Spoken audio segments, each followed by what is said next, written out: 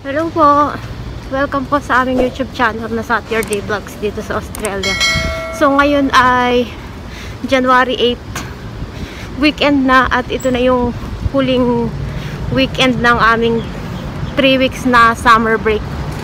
So sa lunes papasok na kami. Pero ngayon ang dami naming kailangan gawin.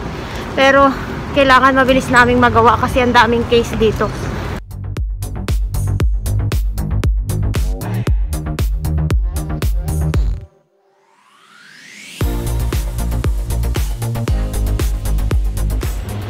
So speaking of madaming case, ang case ngayon dito ay 51,000. Sobrang taas. Ano pa 'yun? Ah, nung mga nakaraan, ang case ay 35,000, 38,000, 25,000. So sobrang dami. Kaya nakakatakot lumabas. So dahil sobrang daming case yung sa opisina namin, nag-message sila, nag-email sila na mag-work from home na lang daw kami simula sa lunes. Kasi nga para mas safe.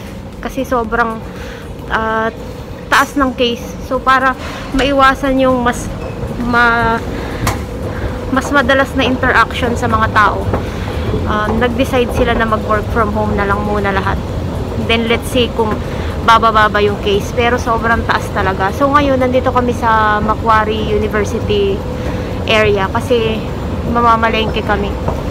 Kailangan namin bilisan yung pamimili kasi para less yung exposure namin sa labas. Kasi halos lahat talaga ng lugar may COVID alert. Kasi pag nag-scan ka sa QR code, ino-notify ka nila kung may COVID alert sa lugar na yon. So, makikita mo sa app na lahat talaga ng lugar naka-red na. Parang lahat ng lugar parang infected na. So, mamaya ulit papakita ko kung ano yung mga ginawa namin. Pero, mabilisan lang talaga lahat. Kumbaga, planado na namin yung mga pupuntahan namin. Para hindi na kami mag-iikot-ikot. Alam na namin yung mga pupuntahan namin. So, mamaya ulit. So, parang, parang walang masyadong tao ngayon. Siguro, natatakot din lumabas ng ibang tao. No? Kasi nga naman, sobrang daming case talaga.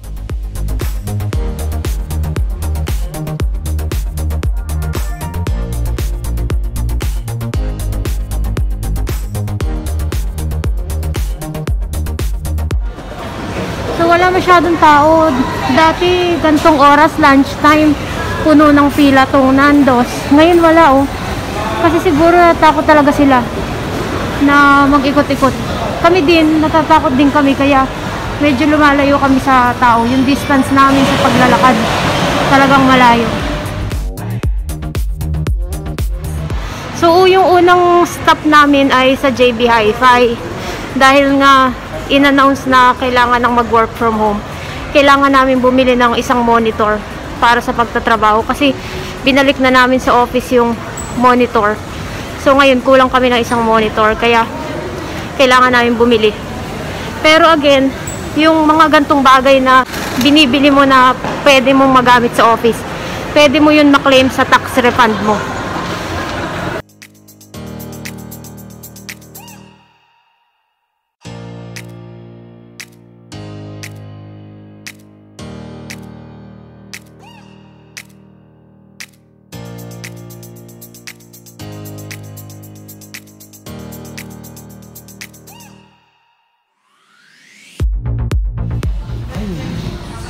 Ay, oo, ito yun. Ayan. Ito nga yun? Tingnan mo sa... Oo, ano, ito yun.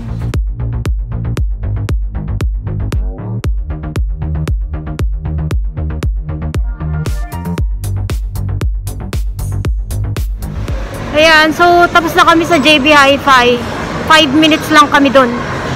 Sobrang bilis lang kasi nga tiningnan na namin kagabi ko ano yung kailangan namin bilhin. So ngayon naman pupunta kami sa ah, bilihan ng seafoods. Madami pa kaming ulam pero kailangan lang namin ng magdagdag para sa buong week. Para hindi na kami lalabas buong week. Tapos bibili din kami ng gulay. So, bawat lugar na pupuntahan mo, kailangan mong mag-check-in sa QR code. At huwag mo rin kalimutang mag-check out para mas effective yung contact tracing. Kasi ino-notify kanila kapag ka may case doon. Pero sabi ko nga kanina, bawat lugar may halos may COVID alert na.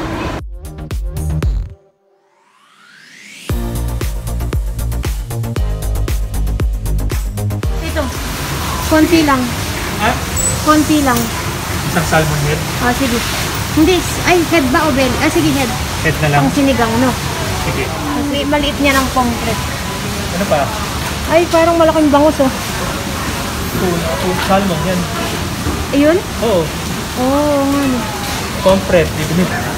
Ayan, gusto mo niyan? Hindi ko, hindi ko alam luto ng pomfret. pala. Wala, prito lang ang alam ko. Ang laki pala niya, no? Walang maliit na ganyan. Per kg. Per kg. $18 per kg. Hipon. Okay, bibili tayo. And uh, anong hipon? Ah... tiger. Green Tiger.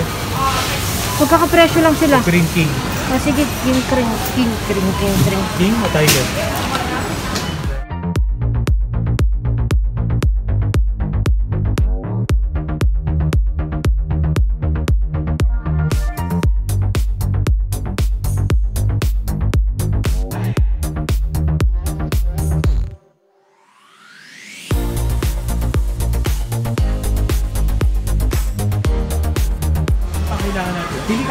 Gusto mo. Ang palaya, gusto ko ang palaya.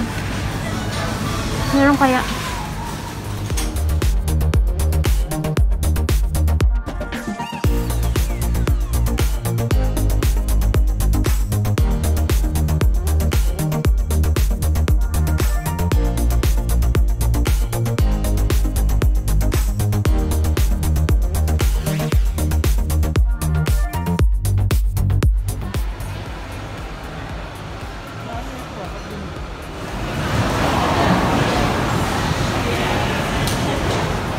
Wala, oh, kumakain.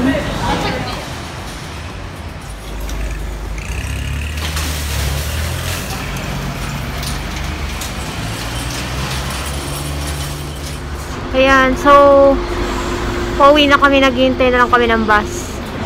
Nakaupo lang kami dito habang naghihintay ng bus para at least malamig kasi yung init sa labas. So, kanina nasa labas na kami pero bumalik kami dito kasi 15 minutes pa dadating yung bus. So, saglit lang kami. Bawat puntahan namin, mag-check-in, check-out, tapos maximum lang namin mga 8 minutes, 'di ba? Para mga 5 to 8 minutes lang tayo sa bawat tindahan kasi nga nag-iingat kami at na naisip na namin or nailista na namin kagabi yung mga kailangan namin bilhin para tuloy-tuloy lang yung pag-ikot namin. Hindi na kami nag stroll And also, hindi na rin kami pumupunta sa mga shops na hindi naman kailangan kasi parang hindi naman hindi ngayon yung tamang time para mag-ikot at mamasyal. Kasi nga sobrang daming case, 45,000, 'di ba? 45,000 ngayon pa lang, ngayon lang araw na to. So nung nakaraan 35, 38,000, sobrang dami. Kaya rin siguro konti lang yung mga tao dito kasi lahat ng lahat nag-iingat. So kumbaga kung lalabas ka, yung kailangan mo lang talaga yung pupuntahan mo. So, naalala ko pala yung pag bumili ka ng mga gamit na gagamitin mo sa working from home mo, at pwede mo siyang may claim sa tax refund basta itatago mo lang yung resibo mo.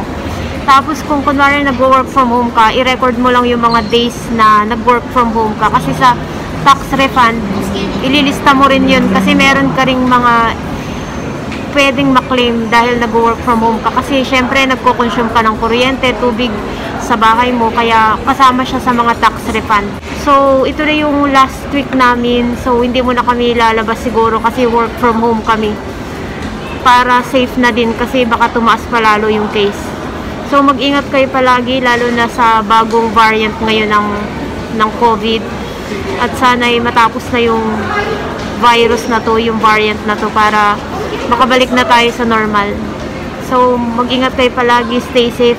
At maraming salamat po sa panonood ng aming mga vlog. So, Happy New Year and God bless you. Maraming salamat po. Hanggang sa muli.